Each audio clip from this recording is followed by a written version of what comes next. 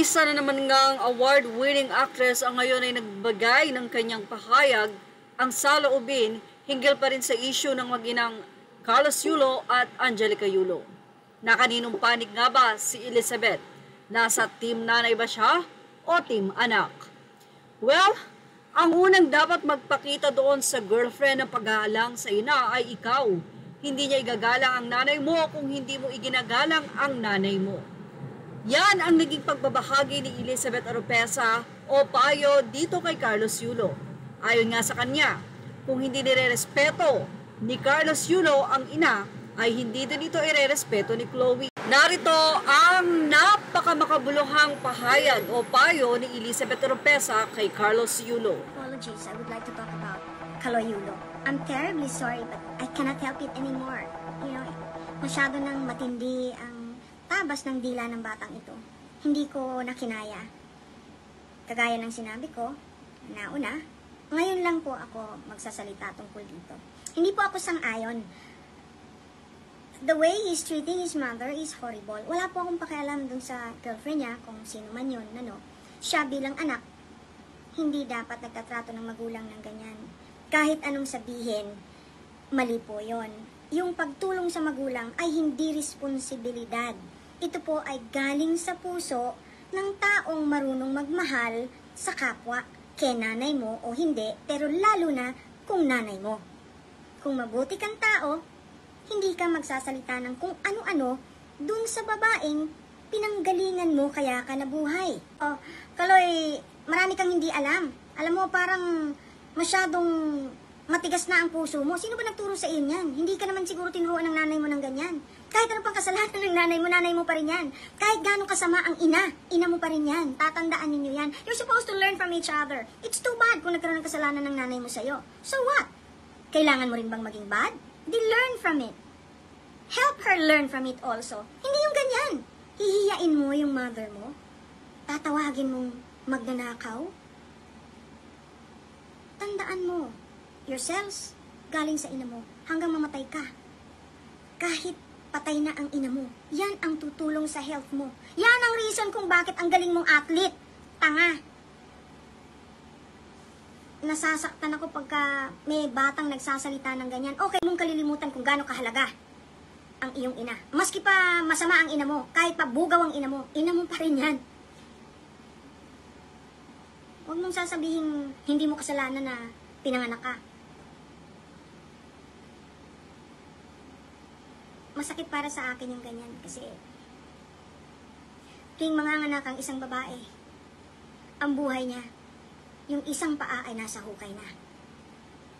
Kung ayaw sa'yo ng nanay mo, sabi nga ng nanay ko, pagka nagagalit sa akin, ang buti pa sinakal na kita na maliit ka pa. Salita lang po yon pero ang ibig sabihin nun, ilinuwal ka niya. At hindi pwedeng sabihin pinabayaan ka. Kaya ka nga naging athlete. Kaya nga ang lusog mo. Kaya nga ganyan ang itsura mo. Kung may puso kang tao,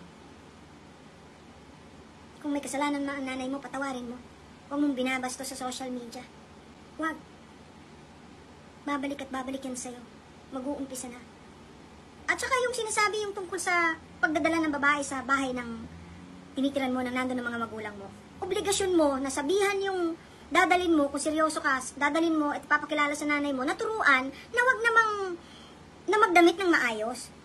Ang unang dapat magpakita dun sa girlfriend ng paggalang sa ina ay ikaw. Hindi niya igagalang nanay mo kung hindi mo igagalang ang nanay mo. Ngayon, gold medalist ka pa naman. Ibig sabihin, wow, macho kang galing mo, pero talon-talo ka ng syota mo. Kayang-kaya kang ma-influence. Proud na proud ako na manalo ka. Believe you me. So proud.